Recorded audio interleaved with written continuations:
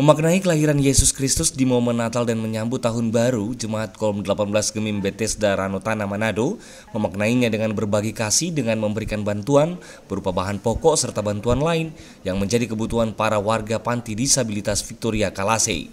Ketua Panitia HHRG Kolom 18 Jessica Tutua Rima saat diwawancarai mengatakan memaknai Natal dan Tahun Baru kali ini jemaatnya melakukan anjang sana bakti sosial sebagai bentuk kepedulian kepada sesama. Hal ini menunjukkan kasih Kristus di mana pesan Natal harus tersampaikan untuk diterapkan dalam kehidupan sehari-hari.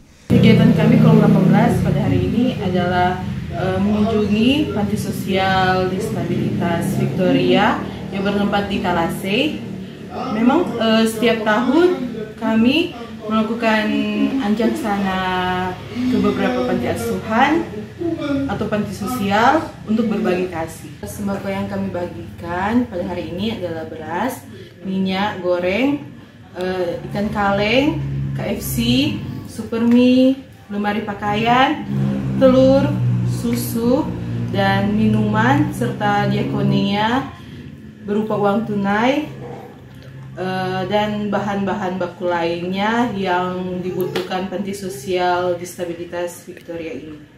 Bantuan yang diserahkan didominasi berupa kebutuhan pokok serta bantuan lainnya yang diharapkan dapat meringankan beban warga panti disabilitas Victoria Kalase.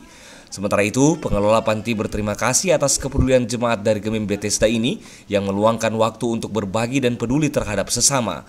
Hal ini merupakan berkat bagi pengurus maupun warga panti. Kebersamaan yang terjalin ini merupakan bentuk ucapan syukur atas kasih karunia yang diberikan Tuhan kepada jemaat kolom 18 Bethesda ini. Berkat yang dibagikan kepada warga panti tersebut tidaklah seberapa dibandingkan dengan berkat yang diterima sepanjang tahun ini. Namun keindahan berbagi tersebut merupakan keikhlasan yang tulus dari jemaat kolom 18 Gemim Bethesda. Aldi Pascoal, Kompas TV Minahasa, Sulawesi Utara.